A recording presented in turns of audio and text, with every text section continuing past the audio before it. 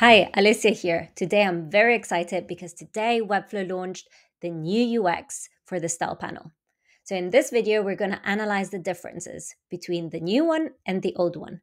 So let's jump in. The changes are particularly for the layout section of the style panel. So first of all, all of these no longer have icons, but the full name. You still have block, flex, grid, and none, and the inline elements are now hidden in a dropdown. We now have two more options, inline flex, and inline grid, which weren't available in the previous UI. For the rest of the video, we're going to go into detail of what changed, especially for display flex and display grid and their corresponding properties. So let's start with flex. The display flex option has now some drastic changes. For the direction, the words horizontal and vertical have been replaced by arrows. And while before we had two reverse arrows, one next to the direction and one next to the wrap, we now have all the possible combinations within the dropdown. At first, I found all these options quite confusing. So let's go through them one by one. But first, let's understand one thing.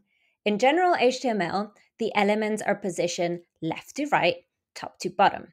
So every time you change this direction, you're reversing the order. Here I have three elements going from 1 to 3 in a row, which would equate to the direction horizontal. In the new UI, this would be the arrow pointing to the right. If we want to reverse the order, so going from 3 to 1, we would use the arrow pointing to the left. If we want the elements to go in a column, going from 1 to 3, we would use the arrow pointing down. And to reverse this, we would use the arrow pointing up. So far, so good. So now what if we want to add six elements? So our row is getting a bit tight and we want to wrap the elements.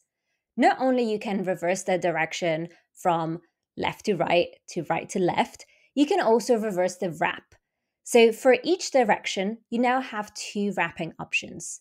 One is the standard one and one is the reversed one. The default wrap down would be the equivalent of the arrow pointing right with a wrap.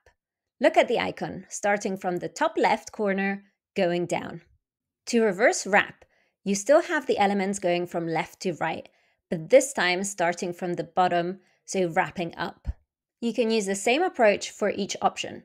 So think of the tail of the arrow as the starting point, and the arrow defining the direction of the elements.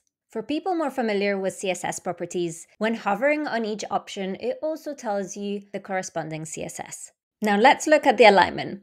This is now a nine point grid, similar to what you might see in Figma. With one click, you can now decide the exact position of the elements.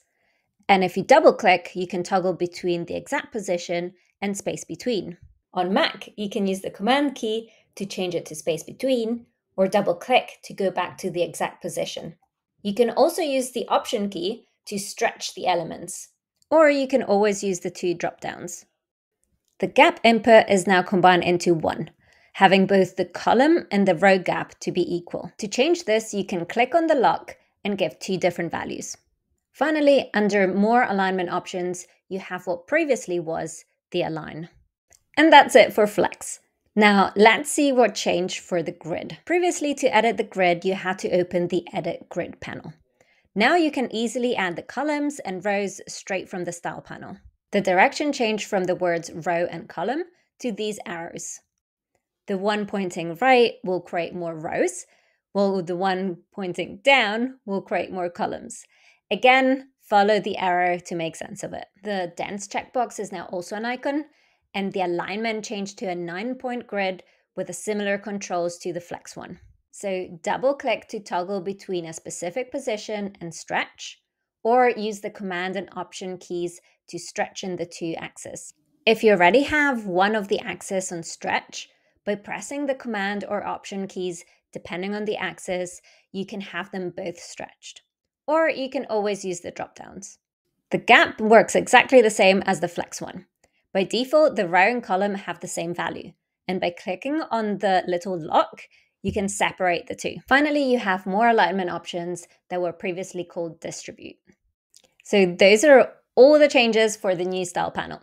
So if you found this video useful, please like and subscribe. Thank you for listening and see you next time. Bye for now.